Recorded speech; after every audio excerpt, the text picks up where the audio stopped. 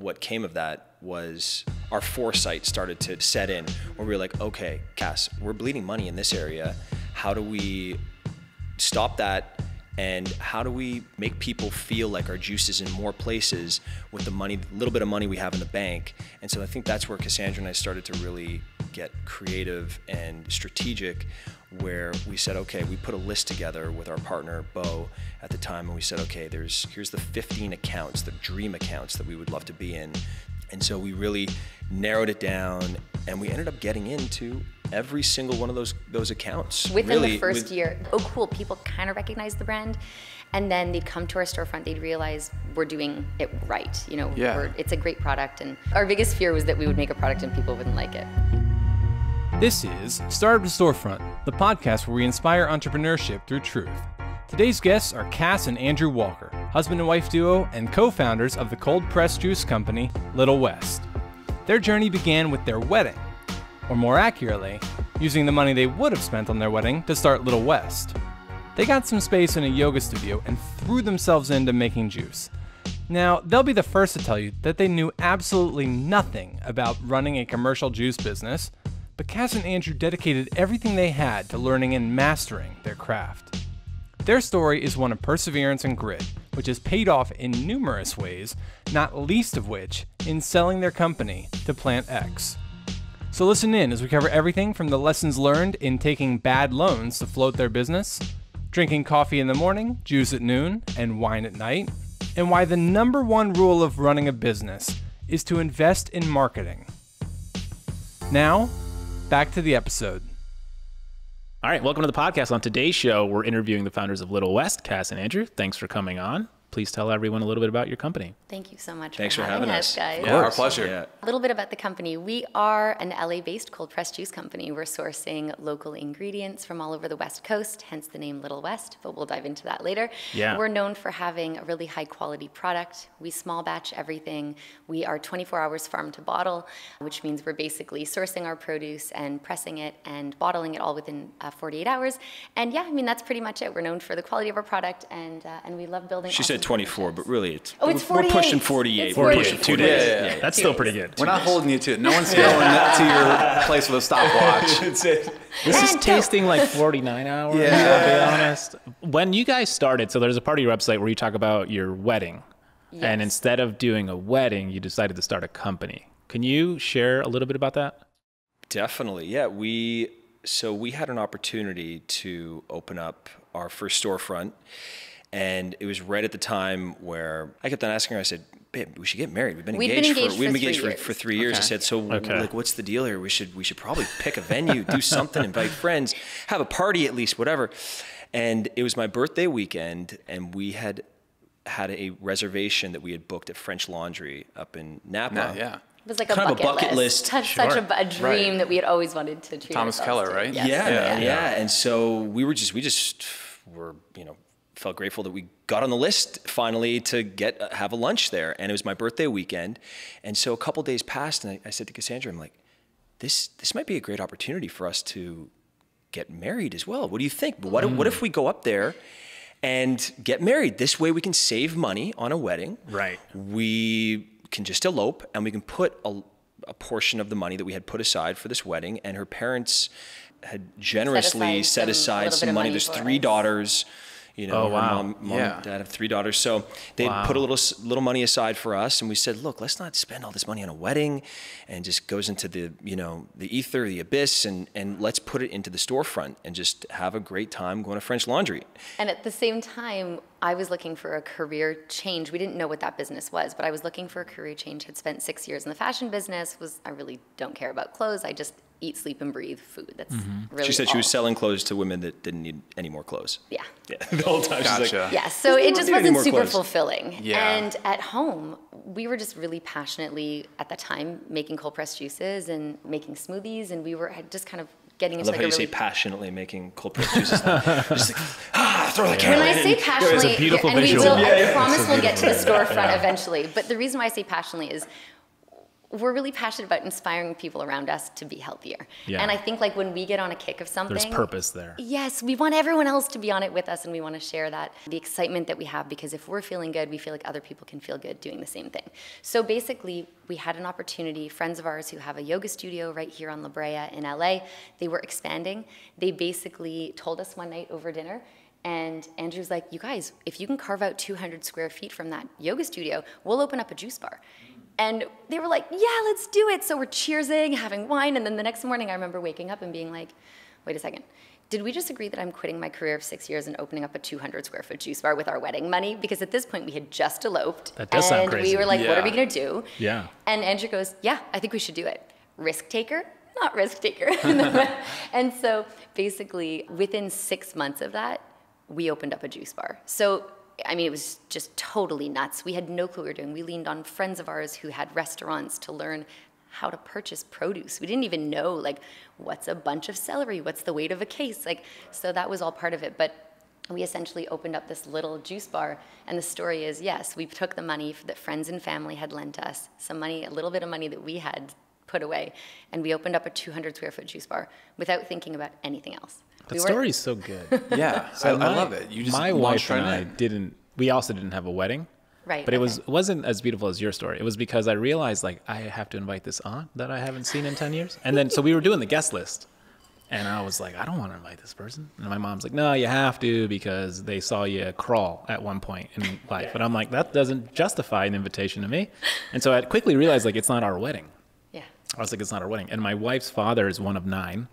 And so it just becomes this like 300 person thing. Wow. And we are like, all right, cool. We were living in Boston. So I was like, we're going to get married in Boston at the Seaport Hotel and blah, blah, blah. Oh, well, that's not, that's not close enough for some of the family. We have to make it. So now the location was moving. And I had been an entrepreneur for most of my life. So I was like, Talia, we're just going to like not get married and we're going to start a company. But I was like, but it's up to you, you Yeah. because her father was more than willing to pay the bill, which was super generous and like very unnecessary. I was like, please don't do that because it's not my party anymore. I'm not sure I'm gonna have fun. And that was it. And so then she we like slept on it and then we woke up being like, yeah, we're just gonna have a small city hall wedding. And then there was like eight of us went to city hall and then went to our favorite restaurants and so it was like immediate family only. And it was so nice and it was so special and I our think own. the intimacy of that we got married uh, we eloped or got married at san francisco city hall and it was we each just had a friend there and because it got complicated our both families are in montreal and then do we have you know family fly out So you're parents, from siblings. Montreal? both of us are from montreal okay. What Yeah. brought you to San Francisco fashion? So LA, he brought me to LA Okay. actually. Okay. Andrew's been here for 21 years and I've been here for 50 we've been here for 15 together, but he is an actor as well. And so acting is what brought him out here. I chased Cassandra. I I moved back to Montreal after being here for two and a half years and knew Cassandra through the grapevine of our small, you know, suburb. we grew up 10 minutes from each other and never knew each other until we were in our 20s. Wow. Wow. Yeah. That's Chased so her cool. for three weeks. She kept on denying me, and uh, and then somehow This is a convinced her to go out for coffee. And then and then com- year later, we you know we were together a year after that, and then she came out to. I convinced her to come out to I finished LA with university me. and we drove our car out with Yeah. our dog and that was it. That's awesome. So, what was the first step in starting the business? So, you guys have a storefront. I assume you don't have any like commercial grade equipment just yet. Like nothing. Maybe you do. I don't we know. do. So okay, we, you do. So at first we were like, okay, cool. So cold pressed juice because that's where it's at right now. We're not just going to do normal juice because the heat. We did. There was a moment that we said, okay, we'll thought. just we'll do it in the storefront. We'll Yeah. do Okay. juice on the spot. and we'll have Like like, you had a, a blender of- or whatever. Yeah. Uh, like a yeah, like, Like a, a countertop Dr. or Lane, Sure. whatever. You know, we didn't even know that things had to be Okay. certified and Like when I like, say oh, we knew nothing, Yeah. I mean we knew Nothing. nothing. there was no like let's That's hire a consultant and figure out how to build this and set ourselves up for success. It was also a like new industry, survival. right? The Yeah. the players were pressed juice Moon Right. juice and moon juice, Mm-hmm. really.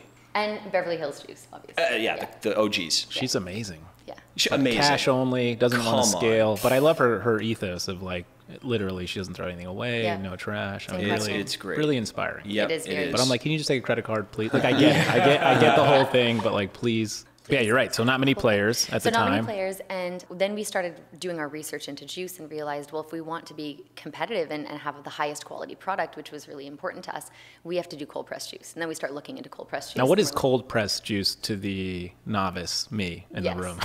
what is what's So- what does that mean? Cold pressed juice is basically where the juice has never come in contact with heat. Heat is what compromises the quality and the integrity of the nutrients. So the vitamins and the minerals and the um, enzymes. If you have cold produce and it goes through, we temperature control the entire process. So the produce, the washing of it, it goes into a grinder. That's just a, that's just another layer. though, Another is, layer, is yeah. like to keep the produce cold. That's kind of our little secret. What we do. Okay. We're Um, crazy. Everybody knows it now, but you know. Yeah, What kind we're- of we're heat really- are we talking about here? So the motor, the heat from a motor of a juicer. so you know how like when your blender is going for a long time, it gets Yeah. really hot. Sure. So imagine that when you're juicing it, and the heat is what kills and and you get that compromises the foam. nutrients. If you get juice on the Yes, spot, you get the foam on the top That's of your like glass. That's oxidization. oxidization, and that's just from the the high rotation speed. I love I've podcast. never known what that was from. I just so thought it was much. yeah. So you see that? That's a no-no. it just cuts the shelf life nutrient down. You have to drink that immediately if you're gonna. Okay. If it's nutrient loss. Okay. Gotcha. But if you you can't take that. Is it because the heat now starts a process? Like it starts to process it? Like the heat basically cooks it? the heat just initially, you know how when you talk about pasteurization of like a Tropicana orange juice, Sure. Sure. you're basically heating and You're starting out that, yeah. all of the nutrients of the Got orange it. juice. So you end up with, you know, yes, it'll show vitamin C and stuff on there, but really, it, once something goes through pasteurization, you're not So the getting the slower the grading Wow. process, and then what happens is you know lots of different technology, different systems that do it, but essentially it's a cheesecloth that you then have to Press. cold uh, presses that press it, and then the juice comes out the bottom. So you want it a slow grading process of the of the fruits and vegetables, and as companies get larger, what they tend to do is to cut back on costs. They'll do all the kale, all the spinach, and they'll they'll fill by percentage. Yeah, it gets and so it's siphoned still technically Okay. cold pressed, but what we have always done from the start of our business is we small batch. That's just also going back to that's the only way we knew how to do it. And even though we went even Which know, goes back to the co- first piece of equipment that we bought. Yeah, yeah. this- going back to the question. Yeah, we did realize if we want a cold press and, and really put out a quality product, number one, we have to source the best ingredients. So we spent weeks meeting farmers at the Santa Monica Farmers Market, talking to produce purveyors, and figuring out which farms do we want to work with and source from because we didn't want something to sit for two weeks and then juice it. It was all about the quality. And then on the other hand, what's the process? So we found this machine called a Goodnature X1, and it's this 500 pound industrial thing. You know, How did press. we find it, Cassandra? Do you remember we, that story? we were at we were at Moon Juice, and because Sitting no in one, our car out no front of Moon Juice, Okay. pep talking each other on how we're going to extract the information from, from the store, from the store clerk. becoming being suspicious. Because it was such a it was such a hush hush. Industry. Industry no one at the wanted time. to talk about it. Wow. And Everyone had their secretive ways so not of very doing collaborative. Not very collaborative. So Okay. we went in, and they have this swinging door. It's really funny because our best friend is the CMO f- for, Moon Moon Juice Juice, now. right now, and so it's just really funny. But so we're basically like peeking in as the sliding door opens and closes, trying to get a peek of the machine that's Yeah, back while one there. person's asking about, And while I'm asking about ingredients talking, and juices, I and I peeked in and I was like, it says Goodnature on there. So then we're Googling Goodnature, trying to figure it out. Turns out we ended up finding the company and we found this machine. But once we realized what this huge investment for us, we, ne- I mean, we didn't have the money to, we were like, what are we going to do? But then we like, we can't put this in our 200 square foot juice bar because this it's is. it has about a footprint of it's probably about five and a half feet by five and a half to six it's feet. huge. And It's how It's much five and a space half did you have in your juice bar? 200 square Okay, feet. so okay, so And this machine, it produces, you can do up to around 3,000 juices a day on this machine, which considering the size of it doesn't seem like that much almost, but it goes back to how delicate of a procedure it is. But we, because of the hot yoga studio that we were partnered next to, we knew that we had to have a, Like a oh, a- volume. Oh, high volume, volume, high yeah, volume exactly. We had a machine built-in to do- clientele. Mm-hmm. That's yeah. what gave us the confidence to initially open the space. Was that it's a we knew that next to the hot yoga studio we would immediately have customers Yeah, if but we were to putting out a good customer product. there. So Right. the machine costs about twenty-five thousand dollars. Then the shipment costs and all the, the add-ons Which was not an expense whatnot. we knew that we were gonna have to spend. We thought we'd spend like maybe two thousand dollars on it. Then we were like, where are So we going to your store this wedding machine? dress money gone. yeah. Yeah, that's it. Lucky for us, I never envisioned myself in a wedding dress, so we were we That's were good. fine on that. I borrowed a dress and shoes from my best friend. So did you have to do the math on okay, so this costs 25 grand plus shipping. We can churn out 300 juices per day. Did you have to do the math 3,000. like 3,000 and you were like, okay, how long until we pay this off? How many customers do we have to do a day for that? And did it I all of a sudden I wish we, we had. would have. Okay. We would have. We yes. did absolutely none of that. No. we were just like, let's do probably it. smarter. It, it, obviously not like smarter, but it's to some extent it's better for the entrepreneur to not do that because there's a there's a real belief, right? There's a key ingredient around this is going to be fine. Every moment that we Ignorance is felt, bliss. Yeah. every moment that we felt like, oh my gosh, what are we doing? We need to stop. Then something really positive would happen that would kind of catapult us to the next level. And then we're like, oh, well, it feels right. I guess we just keep going with it. Well, that was after And the smoke was- cleared. Because the very beginning, the first, I would say, six months was just us keeping our heads above water. I was juicing at nighttime. So we found a place to house this juicer, Yeah. The X1, the Excellent. X1. Yeah. We, X1 3000. Which, by the way, the company Goodnature, right around the same time, they're an unbelievable company, and they now have podcasts, they have uh, blogs, they do newsletters, and they've really changed. They're doing countertop for homes now, for cafes. So they've really they've changed. made it expanded. super They've made it approachable and accessible. That's accessible great. to Yeah. everybody who wants to start a juice bar.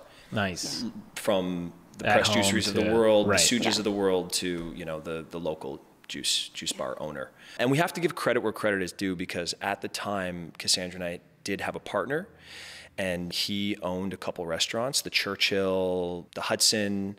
Uh, his name is Bo Laughlin, and Bo had given us access to the bakery at the Churchill down on Third Street. It was to, at the Orlando Hotel, and it was this like hundred square foot. It was tiny on the second floor of a hotel bakery kitchen, and that was our very first. That was our juicing kitchen. first juicing kitchen. And we would, I'd show up at the juicing kitchen and accept the produce, you know, go through all the produce. And then as the night would wind down, some of the line cooks would come meet me upstairs and we would juice from 11, 12 o'clock at night all the way through till about 3 o'clock in the morning.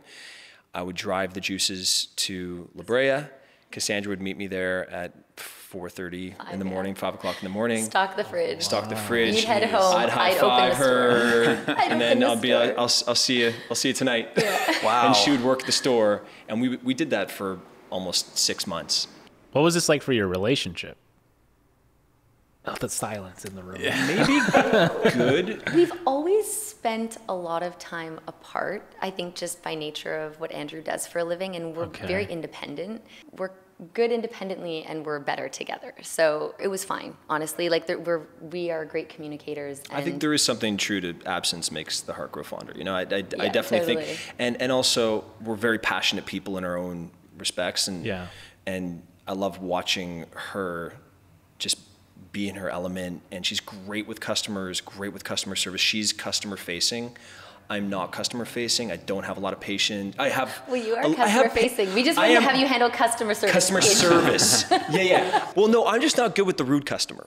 I just be like, just buy the juice, man. You Or don't want the juice? leave. Don't take. Yeah. Don't And I was the like, juice. Oh. yeah. and, and that was a very nice way of, of putting it. But Andrew, you know, it's look, the, this is, you know, people listening can't see me pointing to the product, but it's a labor of love. And I think mm-hmm. that it's not something, we didn't hire formulators and be like, hey, we want to make money in this industry. And so create four SKUs for us that we can just crank to market. Right. We created a juice bar out of our passion for wanting to share a product that we loved with our community. And we wanted to inspire people in our community to be a little bit healthier. And we never came open the store and we were like, everyone do a three day cleanse and everyone needs to be juicing. We were like, have a, we were the first juice company to have a coffee program. So we hmm. were like, have a coffee in the morning, have a juice, Stumptown. have wine at night. Yeah, we started We with started with Stumptown Stumptown, yeah. originally. Wine at night. I like that. That's good. I mean, it's a food group in my in, in our hey, family. so. I'm- yeah. Welcome to our house. Uh, and we made juices for cocktails as well. Like we. Yeah, I can see the Oh. beet juice being. I mean, a lot of the well, the ones Yeah. I've had so far, I'm like, oh, this, the this one you're could pair well. that was the No, this- original cocktail tequila mixer. I could definitely see this like a Which is the sweeter golden aspect of it. Absolutely. What liquor would you pair with this? Tequila. tequila. Yeah, that but, was I my mean, thought. Of course, vodka goes with everything. but Yeah. really tequila, and then a lot of these mixologists have done some really interesting takes on our juices as well. Like add anise flower to the top, and then you know with the clover, there was one Matthew Biancaniello, who's an incredible mixologist here in Los Angeles. He The did eat, one. eat your drink. Is that him? Eat your Yeah. drink. That's Yeah. it. Yeah. Yeah. I know Matthew. Okay, cool. Great. Yeah. Yeah. he's awesome. He He did something cool with the clover. Yeah, he did it with gin. He did our clover with gin. And just so the listeners can hear out there, the clover has kale, cucumber, celery, spinach, pear, cilantro, mint, and lime. So when you have that on the menu with a mixologist, it sounds like there's a lot, you know, a lot of juicing that they're doing on the side. But really, it comes from the product, which is great, very convenient. But then he would add, he added gin. He did some. Uh, like a licorice liqueur in there, I think, and then he Okay. did anise flower We on the could top. probably just ask him to send us But recipe. interesting takes on things. Yeah. Like the beet juice, for example, there, there's mixologists at hotels that turn this into a, uh, a, a beet Bloody Mary, Oh, Interesting. which is interesting. Yeah, which Yeah. I, I had only heard that a couple years ago. So uh, speaking of this, like as you guys are entering the market, you have your hot yoga fanatics, right? Mm-hmm. And so you have that crowd immediately. But at some point, you start thinking about like how do we get into stores or distribution or even the mixology game. So what Yeah. was that like for you guys? Was it natural or was it like we need to be in stores here? It was natural. Well, the first customer we had was Alfred Coffee. Okay. Um, they had opened up the day before we That's did a good their first customer to location. have. Yeah, it was Yeah. great. Customer, yeah. yeah. And so, they're great. but we had a three-day shelf life at the time, and so managing any product with a three-day shelf life that is perishable, which means that it needs to stay refrigerated or else it will spoil. Mm-hmm. Um, it's very strict temperature regulation.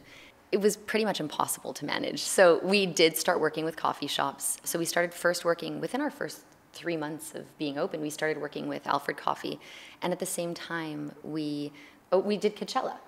We did Coachella. So within our first year, Coachella was like, "Hey, can you guys be the juice company for Coachella this year?" So we opened in January. That's awesome. Flash to like March, I planning for. April Coachella, and we're like, "Yeah." At this time, first of all, we didn't even know what was happening at this point, but because we were just trying to Hunkering down yeah, and try to stay making awake. juice, yeah. But we were like, oh yeah, there was no world of no. It wasn't like, oh, we don't know if we can do that. It was like, absolutely we can, and then we're like, oh shit, how we said gonna yes do to this? everything and everyone. Smart.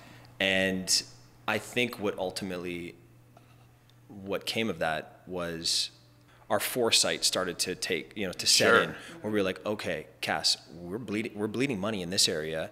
How do we stop that and how do we you know make people feel like our juice is in more places with the money little bit of money we have in the bank and so i think that's where cassandra and i started to really get creative and strategic where we said okay we put a list together with our partner bo at the time and we said okay there's here's the 15 accounts the dream accounts that we would love to be in the soho houses of the world and uh, a couple hotels the mondrian the uh, chateau marmont you know and a couple other coffee shops the alfreds of the world and stuff.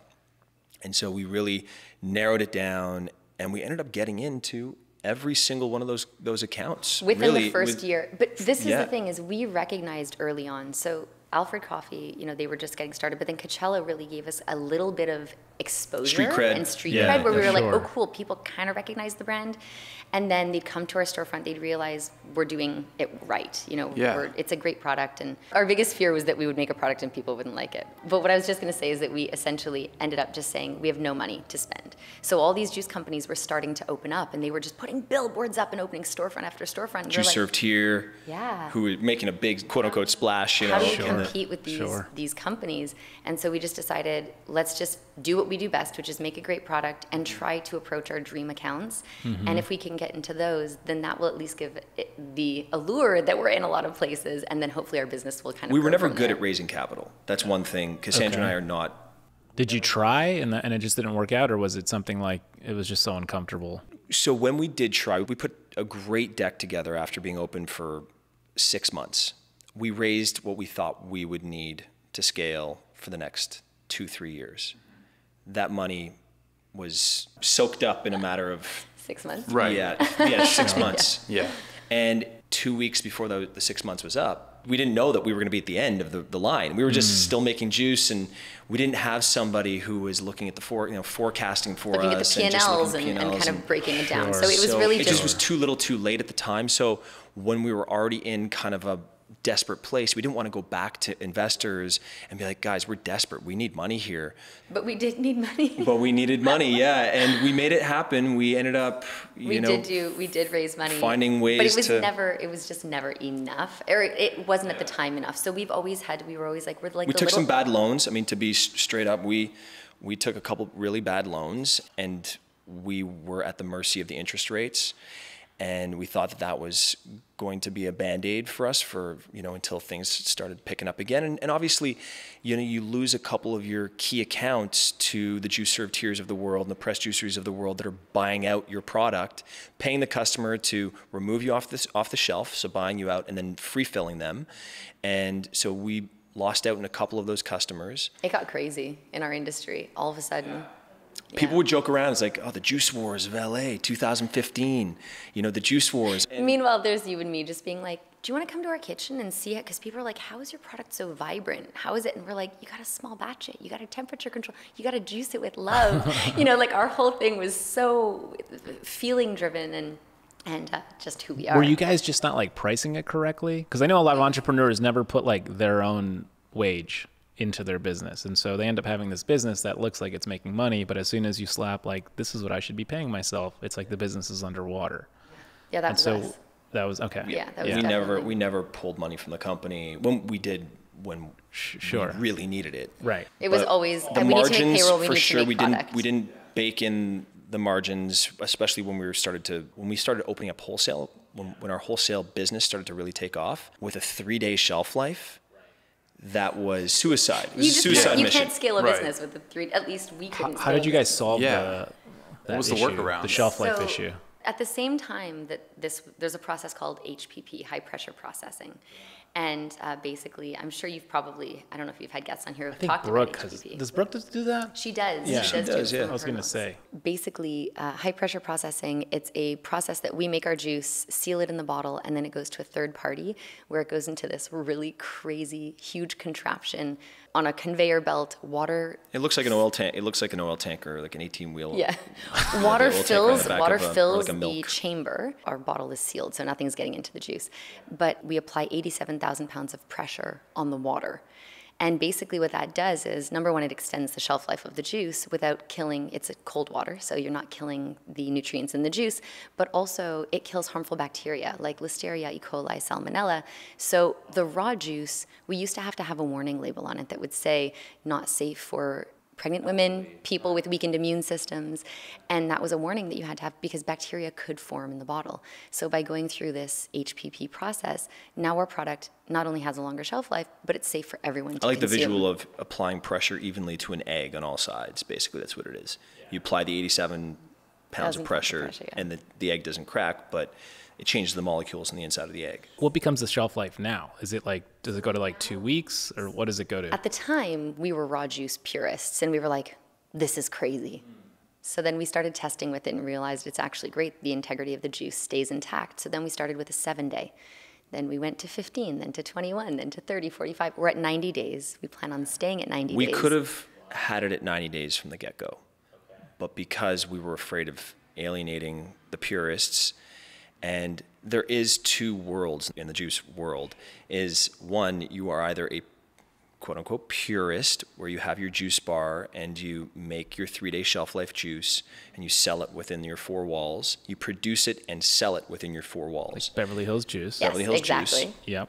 if you have a wholesale arm to your business, you can't produce your, your three day shelf life raw product and sell it outside of those four walls to a customer. It's, to, ille- to it's like a wholesale account. So, for example, they can't sell that 3D juice to a coffee shop and then have them sell it. So the health department was catching up, you know, kind of like finding out about different people doing this at this It was a new now. industry. So there was a new industry being created. We used to fall under juice. So all of a sudden, we became a new category to the health department, which was cold pressed juice, and then a whole bunch of regulations kind of.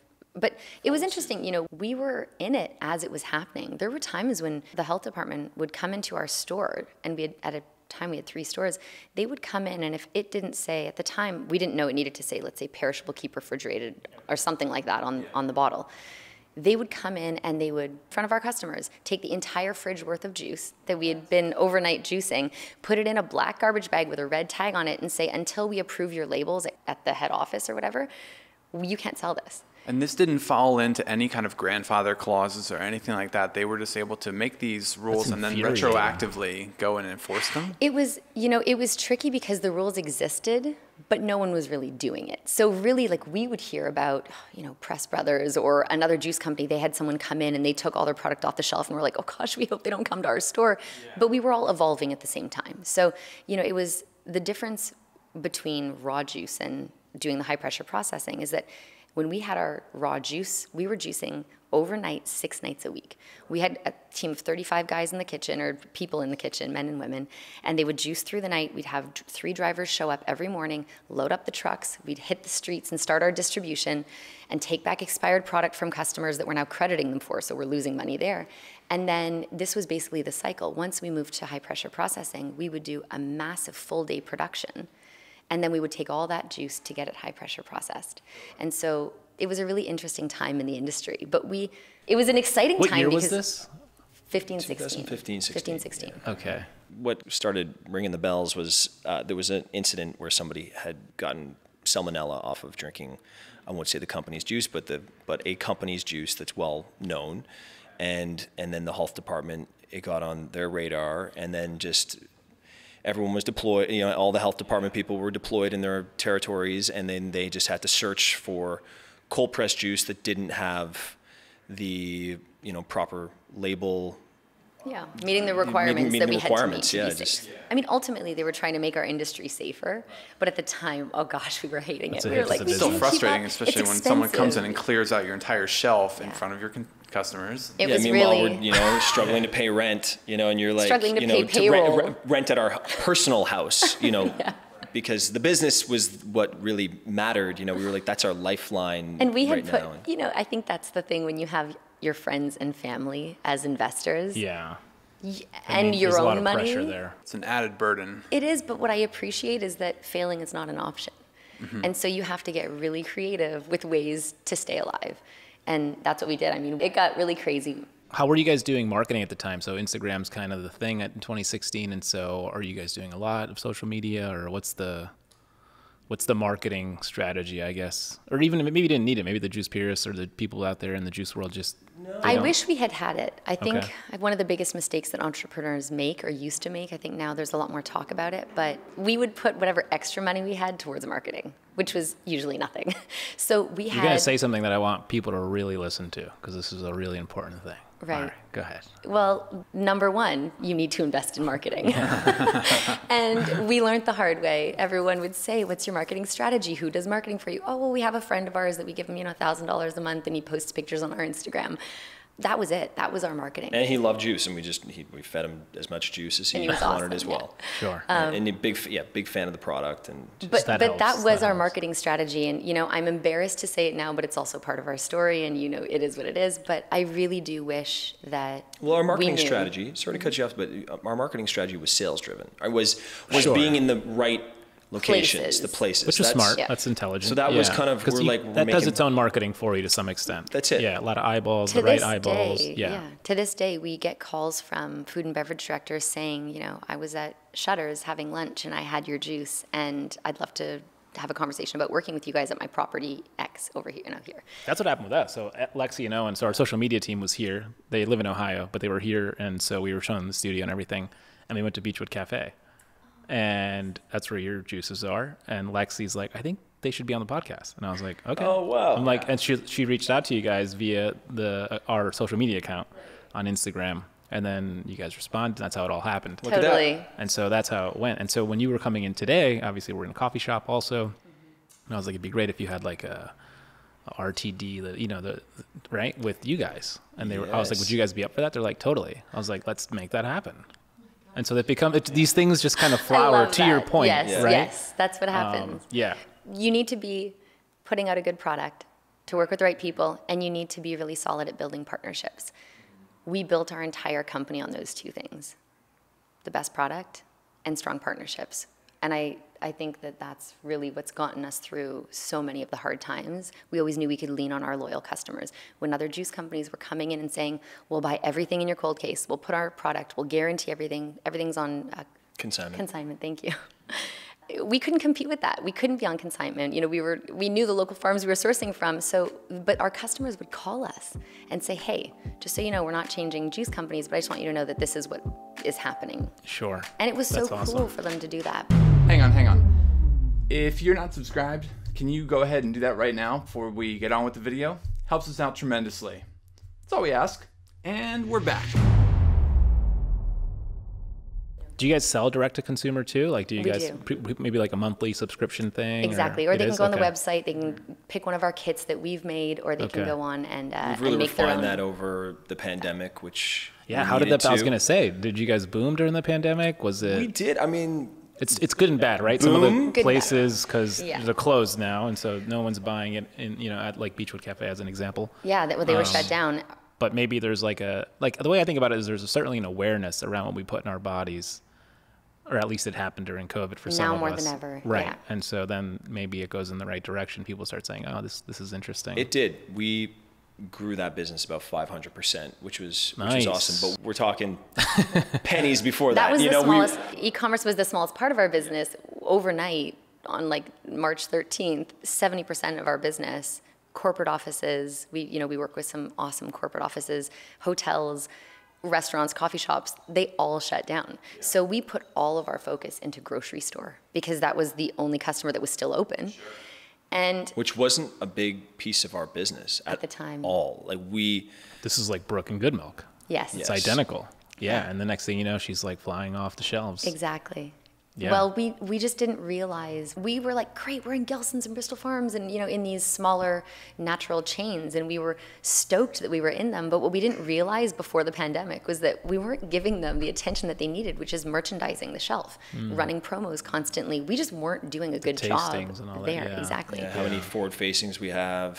Making know. sure we had proper representation on the shelf in the fridge. And so in the pandemic, our distribution manager, who then became our driver because we had no customers to deliver to, uh, he basically just started going into any location that carried our product every day as much as he could, and he would just make sure our product looked beautiful on the shelf.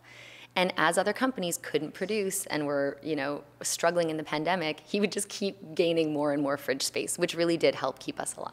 I imagine at that point it becomes easy to lean into whatever's working because when everything else shuts down, it can serve to narrow your focus. And especially seeing that grocery stores are the only thing that's open and direct to consumer is the only way people are, everyone's ordering everything offline. I mean, now that I'm curious, now that things are opening back up again and places are allowed to have customers inside, we're mostly maskless now.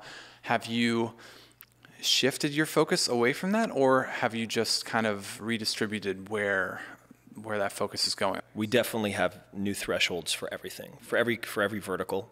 You know it's it's now we just we say okay we can't go we can't go below this now. We we know what our, our wholesale in general was before the pandemic. February of 2020 was our best month in the history of our company you know eight years being around.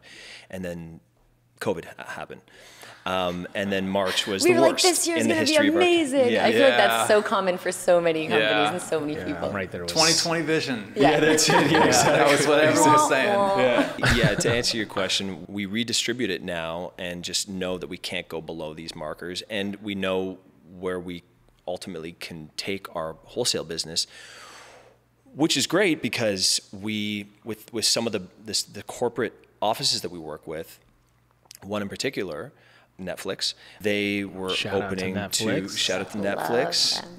Thank you for If caring. That's a good, that's a good what- partner. You guys, if only That's all customers partner. could be I as much of they're a joy to work with as Amazing them. with. I've heard they're amazing across the board. I mean, yeah, people. I've never heard a negative thing. No, it's, we started their one location on Sunset, and we took over from Suja, which was so cool that we look at these opportunities like a starting place. If they're if they're carrying a product like a Suja or somebody that's just a lesser quality juice. We know that there's there's an opening there. It's like kind of the eye of the needle. You know, you're like they want to elevate. They're when already they interested. try, If they have juice, Right. They have we juice. can come in and do it. They're it on the better. journey. They're just not. They need a little push to go That's in the right it. direction. When you try Folgers coffee and you like coffee, you're like, oh, okay, cool. what, what, what, what's this blue bottle over here? So yeah, Netflix in February had some of their best sales, and we knew they were opening up two more locations as well in the coming months. So the good news is Netflix is just starting to roar back now, and the two buildings aren't even, you know, we haven't even started delivering to them. So that's good. So we have some things in the pipeline that are really exciting. But when you talk about kind of redistributing your energy and stuff, we, Cassandra and I, during the pandemic, we started, we just hunkered down. We said, look, where do we really need to focus? And going back to, I think, what you were going to say before, is that we knew that we had to focus on our grocery. Really, like, we've had a bit of a, of a, of a difficult journey in navigating grocery strictly because on Little West bottles, you'll never see a USDA certified organic symbol.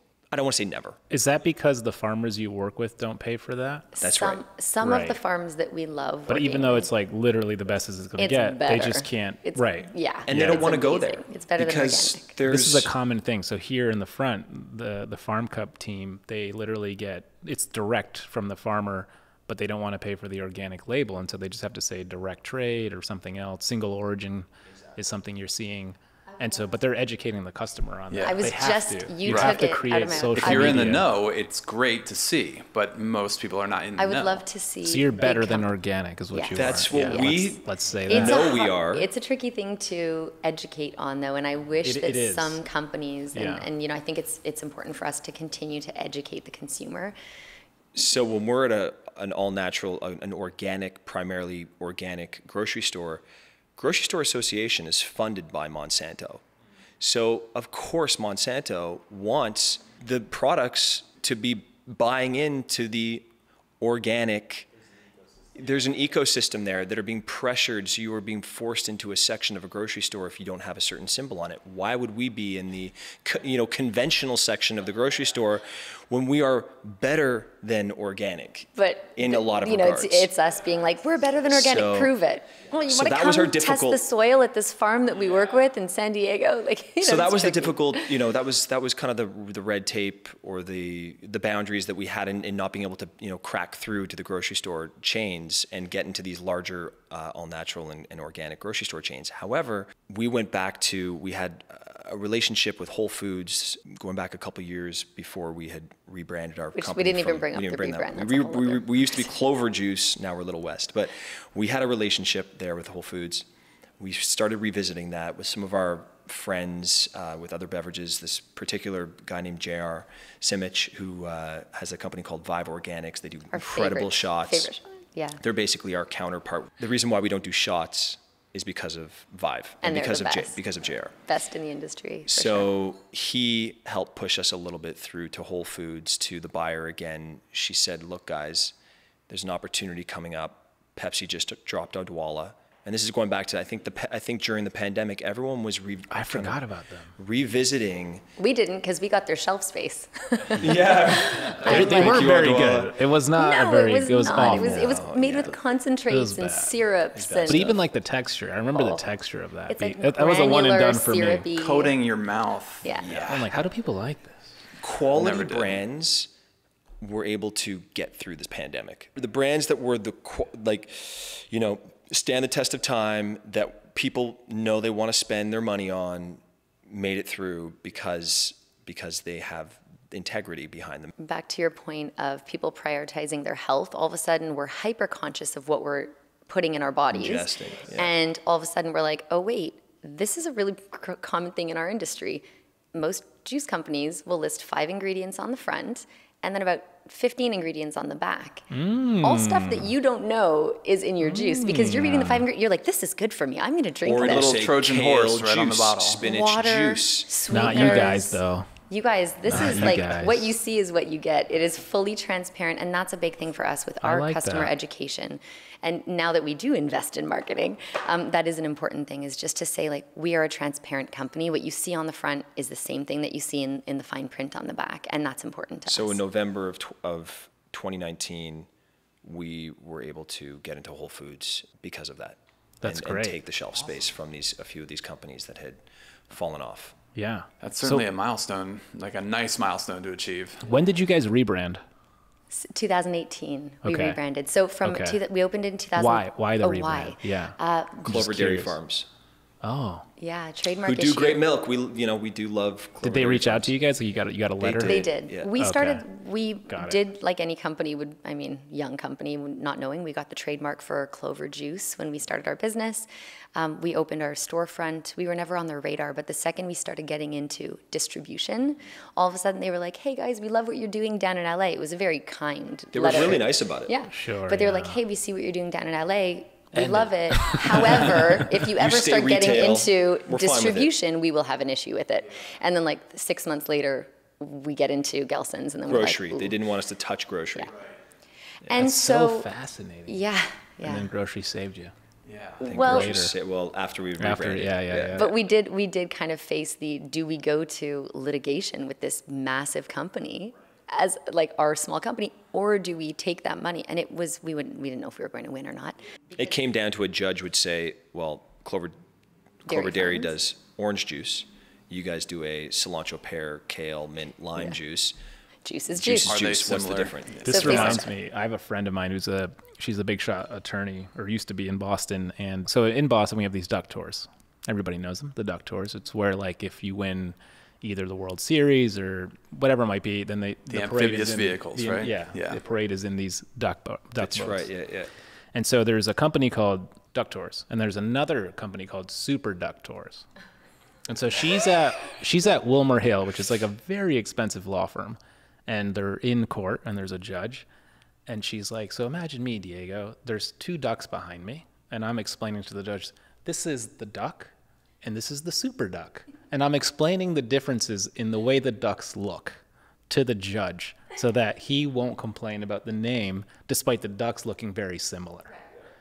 And she's like, "That's my life." yeah That's her life. Yeah. She did that for like two more years and left. well I'll so like never forget that. to that point So, yeah, to that yeah. point we were faced with our attorney we hired a bigwig attorney or a firm and they were like it's a 50-50 guys Yeah. and we're looking at that So being true. like oh my god i mean so either we spend an obscene amount of money Right. Yeah. not knowing if we'll win, or we spend the same obscene amount of money rebranding and making all the changes to our company and to our product that we never knew to make when we started because we started as a retail shop.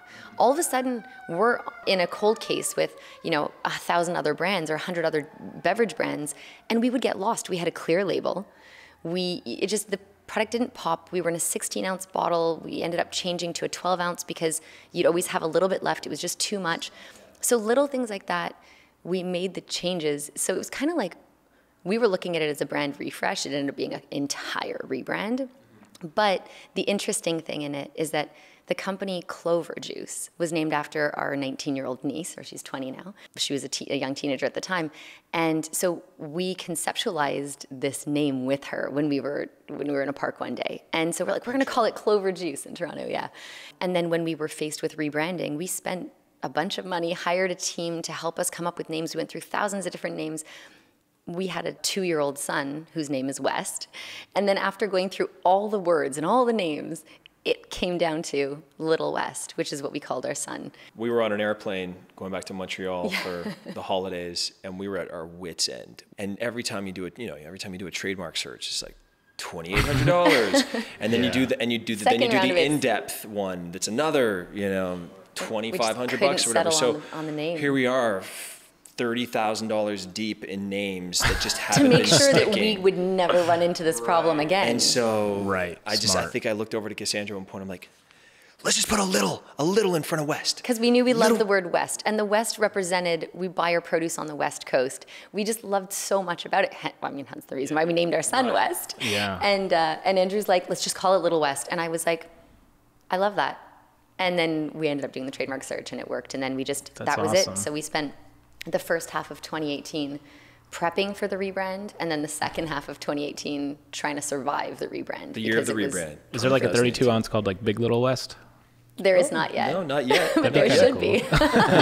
And how, and how old is Wes now? He's five now. He's If turning he was- six in a okay, couple so, weeks, So, yeah. um, Nice. is he aware that he is the face? Of you know what? He's just started to He's become just a little bit. Yeah, yeah, understanding yeah. it now. We, we have like you know we have T-shirts go like, and "That's mine, hats. that's mine." I think Andrew had a humble conversation with him yesterday yeah, at just the park. yesterday at the park. Yeah, he was just saying, I tell everybody that I'm Little West, and I, I had I had to bring them aside for a bit and just like chat with them and say, Yeah. you know, just- Yeah. Little West is the Parenting. company. yeah, Yeah. Right. parenting. You don't That's go so into cute. that. If people find out, that's great, but like you don't lead with that. Because you know Yeah. he's at his preschool, just like shouting it off Totally. the rooftops. Mommy and Daddy are going to sell the company, and then you, then, then it's not yours at don't all, buddy. And then you get you know. I don't think he's. Oh man, yeah, no, hilarious. Are you guys in that position now where you're thinking of, of selling the company, or we is it just sold, grow? We sold the company. Oh, you We sold it. just did. Congratulations. Thank you. Thank you very When? much. When did you sell the company?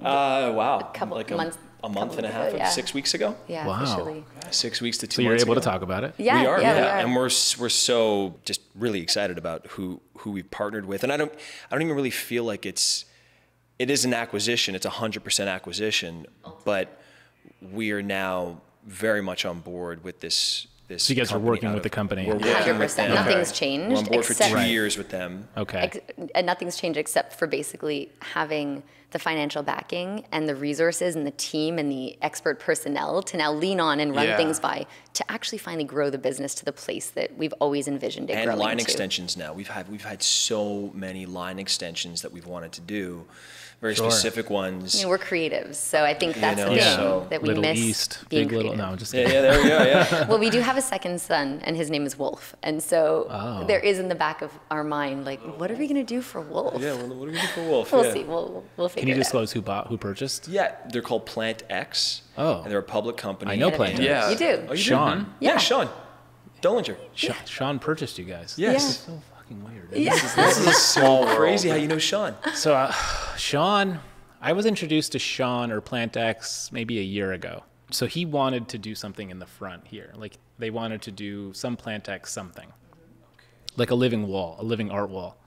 And so we, we had all the, I was like, that's great, no problem. That way it helps them promote their brand. And then the coffee truck gets this like really cool Tulum vibe, which is what they wanted to do, this like super plants everywhere. And so we were introduced. I don't know if this is something you're up for, but and so then we had a bunch of calls with Sean to, to do this, and then it ended up kind of falling. All the plants you see in the front were given by PlantX. Oh no And way! so That's Sean brought those Yeah. all. But I ended up having a lot of phone calls what a with Sean. small world. and when he's in LA, he's going to come on the podcast.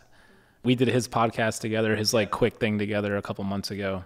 And so yeah, that's, That's how I know awesome. Sean. Oh, I love that. That's so funny. Yeah. Yeah. and, and they really it was great alignment really cassandra Sure. and i look there's different reasons why we chose to, to sell and i think just having the support the financial backing and, the, and just the a team in place but also like cassandra was saying we're, we're creatives and we didn't want to be on this perpetual wheel of always having to raise more capital for our, our company to grow and she is an incredible cook and great writer and so her her dream has always been to write a cookbook and um, and I'm an actor so and I have I'm always you know I'm Gemini I kind of have a bunch of things always going at once and so I've never really been uh, outside of the first two years year and a half to two years in the business I haven't been 100% Little West ever.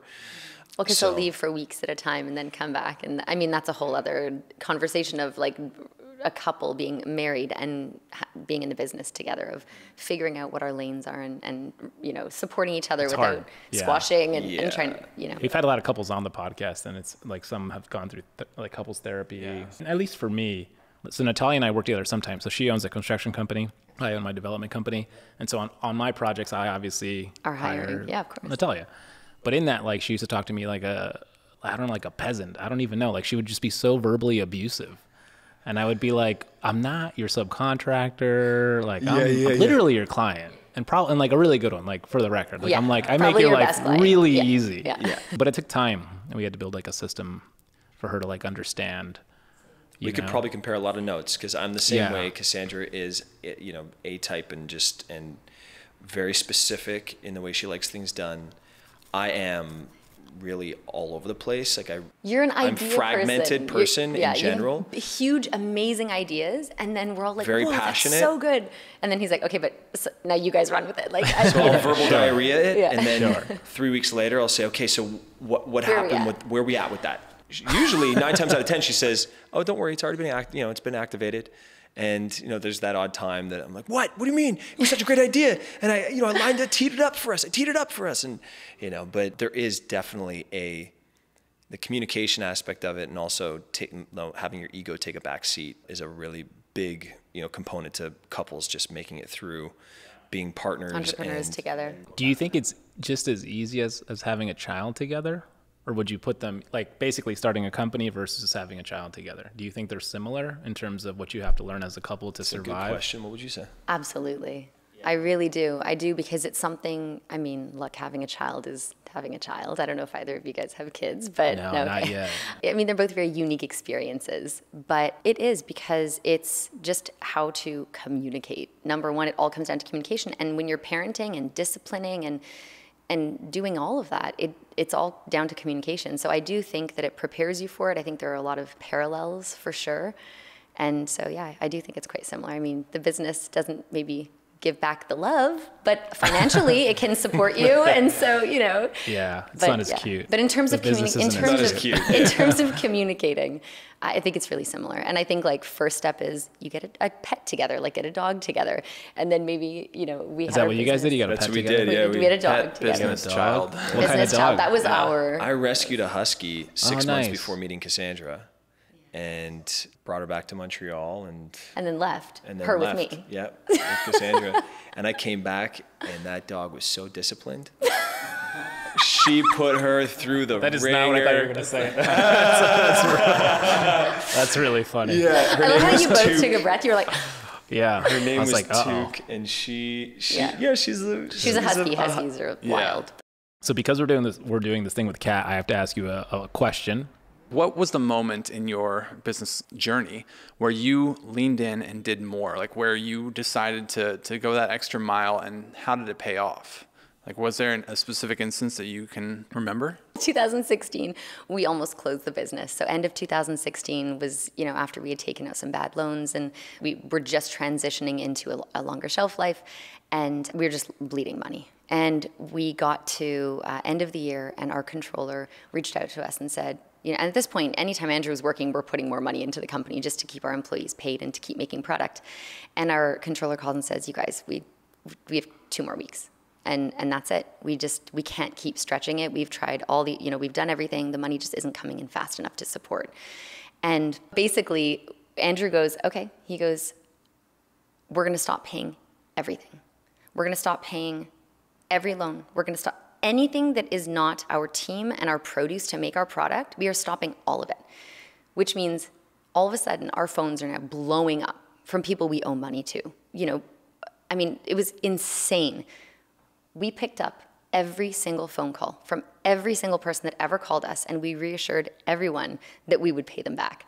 But that was like we were like we have to do that just morally. But at the same time before we made that decision andrew goes cassandra do you think we should keep doing this and i was like "Ah, i just don't feel like it's over yet do you feel like it's over yet and he's like i don't either let's just he goes one more month let's buy ourselves one more month and just see what happens. And I was like, we just we need a sign. We need a sign that in one month that we should keep pushing because that's how we had gotten to the place that we were at. And that's when he cut everything off and we were like, this is totally nuts. We're digging ourselves into a hole. And on January 21st, we get a call from a corporate office that I won't mention their name, but we get a call from a corporate office and they're like, hey, we want to hear, we want to learn about Clover. And this was Clover at the time. And uh, I I thought, I was like, oh, cool. Yeah, I'll tell you about our company. But because we had built the company from the ground up with him in the kitchen, I did our hazard analysis plan and, you know, we changed kitchens and we did, we knew the inner workings of our company. We knew our farms. This company ended up spending six weeks vetting us. And they're like, we have a huge juicing operation at our campus. We are looking to shut it down. And then within six weeks, after calling the farms, checking our facility and all that stuff, they switched over to Clover Juice and we started doing their juice for them.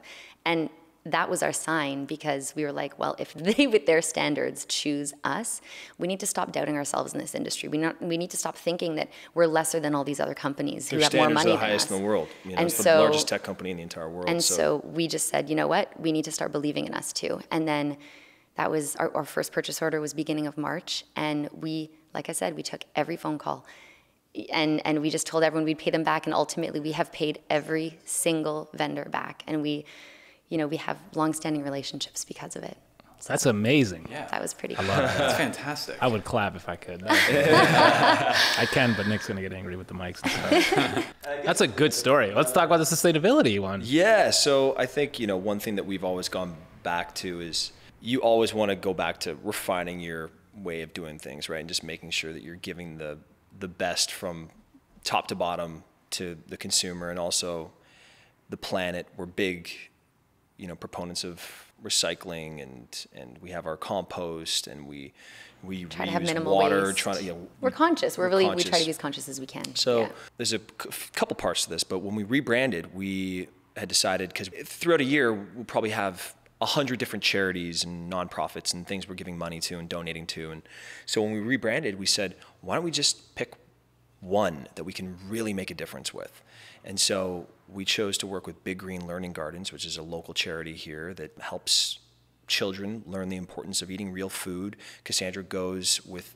I did. of our I was doing members. volunteer work with them at the time, and we just decided instead of working with all these other organizations, let's just we're already volunteering with them. We're already passionate about it. Let's just make it a one year donate, once a year donation. So we donated one percent of all of our proceeds to Big Green Learning Gardens, and when this became available to us, we we jumped on the opportunity. But we also offset our carbon emissions with Eco Drive. So we plant trees with Eco Drive, another charity that we are working very closely with. And so between the two of them, we've also now started every single bottle that you see here is made from 100% recycled, once recycled plastic as well, because we are our product has to be HPP'd in order for it and it it to needs to be in plastic because the pressure going back to the pressure on Yeah, glass. they can't you pressurize can't. Yeah. glass yet but they they will be able to at some point but we're just doing all of these you know taking all these steps and also upcycling our produce any way we can so if it's making different products with it sending it to farms using it at big green learning gardens to start as their initial compost, Yeah. But the pandemic was something that we had already started working with Big Green, but in the pandemic, we just had more time to think about things. And we thought, well, now that we have this time, how can we be better? How be can we as a company?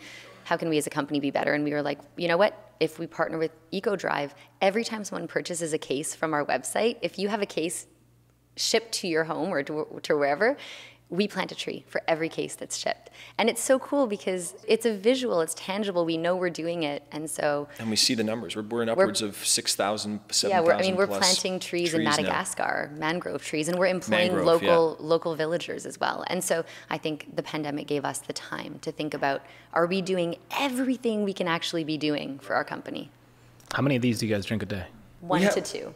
Yeah, we, t- we take home a two. gallon. We always have a gallon of our clover juice in the fridge. So we do do the big Little West, but it's Okay. not Yeah. really like customer facing Yeah, yeah. yet. yeah. So it's like a gallon a day. It's a gallon, yeah. We start every morning with a green juice, and that's our our first thing. And then so and then the, the big the big glass of that's probably equivalent to like two two of two of the no, the your glasses. My, glasses. yeah, yeah. uh, like I'm still working on this one. I yeah. How and then I have a go big in the afternoon. Okay. I could easily see a market for this. Like breweries have crowlers and growlers. I could see something like that for juice as well. yeah. We're working easy. like it. you could just like you know, bring your your growler in for a refill. It's eco-friendly and reusable and all that stuff, and people get their fix. Yeah. That's what I was gonna ask. What are the things you're working on now with PlantX? Like, so how has that acquisition changed? What you guys are working on in terms of either a retail strategy or maybe marketing or what, what- Marketing, most importantly. I think that's the biggest thing. Uh, marketing, do they handle all of that now? Or- not yet. So we have our own marketing manager, but we are in the process. Actually, this week we are doing a lot of calls to kind of merge that together. Sure. We are spending on ad spends for Facebook and Yep. for stuff like that, which is something we never could afford to do before. yeah. We started doing that um, earlier in the pandemic when we saw that ecom was really one of our only sources of revenue, and so definitely more into marketing, hundred percent. Not going retail packaging. Packaging, larger formats, nicer customer facing. And then new line products. And so yeah. for us, you know, coming out with a larger format is something we've been wanting to do. We do these gallon jugs for hotels or for some offices, but they're not customer facing. They're like, you know, a milk jug. And so we are in the process actually right before we came here. And I, I don't want to say it yet, but it's so exciting. But we are coming out with a larger format that is customer facing can be used in many different settings and that was a really important thing for us so we just left a meeting where we're finalizing our packaging for that We see that there's a, a need for a more approachable price point plant based beverage, something that is more water based And so we're very far down the line on Water-based product that's not a juice. that's plant based. Yeah. That has Which all the, cool. the most of the nutrients you would get in a green juice in a water based Beverage, yeah. product. Yeah. Which is exciting because Very refreshing and also kind of like the athleisure crowd would drink Yeah, it. much you more know, so- approachable to the average exactly. consumer. Yeah. And I think just shelf stable. That's very smart. for us coming out with a product that is not perishable and that's really like we have a 90 day shelf life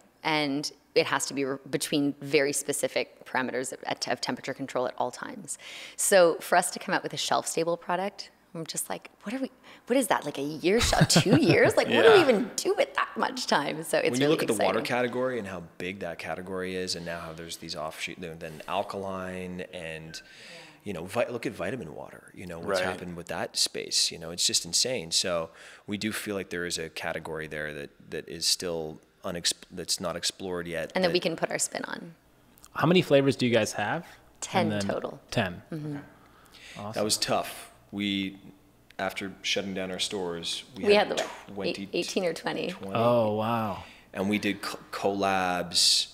One Custom with flavors. Menotti's coffee. I don't know if you know Menotti's coffee. soho house The viceroy beach. hotel Yeah. So you guys are the, are the Cool juice at Soho? We're not now. They're doing their Okay. own juice. Okay. But we worked Sandra with them, actually was the liaison to start that whole program. Helping them helping them develop their juice kick us out. I've always wondered because when I get their juices, I'm like, do they, you know, Know? Because their almond milk is garbage. Yeah. And Yeah, the uh, the juice is juices, I'm done like, out of I don't even know who does this. I it's done out of know. Miami, at a facility down there. Or at least it was last time uh, we last time. well, listen, tell everyone where they can find you guys. And uh, yeah, I know we've mentioned it a lot of the stores yeah. already. Yeah, but yeah. So most importantly, I mean, you can order it to your home through our website, so littlewest.com. And how much is the case, just so people know? Um, usually around $100 because we usually put 14, 12 to 14 bottles in a case. Um, we like to, our free whole shipping thing, after free shipping. after hundred dollars. Yeah.